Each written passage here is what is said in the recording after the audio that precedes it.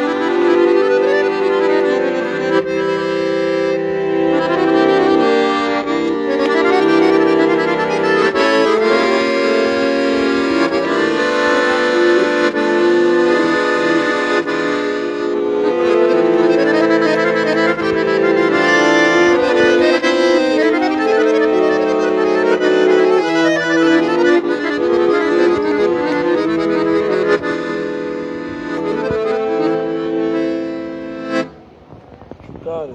Haykir yaptı. Yani